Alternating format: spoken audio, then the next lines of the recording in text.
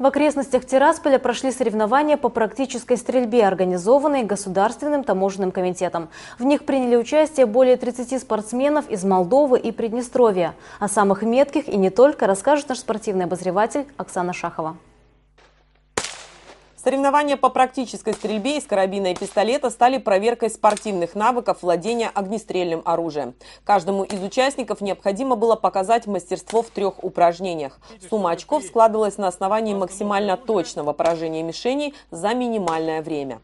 Предпочтение стрелки отдают э, каждый по своему усмотрению. Вот. Но когда проводятся комплексные матчи, допустим, такой, как у нас сегодня, то, конечно, преимущество имеют более универсальные стрелки, которые стреляют как с карабина, как с пистолета. Самым быстрым и метким в итоге оказался кишиневский стрелок Андрей Иванов, набравший 344 балла. Мастер спорта международного класса тираспольчанин Анатолий Каравай отстрелялся со вторым результатом 302 очка. В командном первенстве победу одержала кишиневская команда «Юнитон». Еще один коллектив из Молдовы, три Гайдука, расположился на втором месте. Представители Государственного таможенного комитета в тройке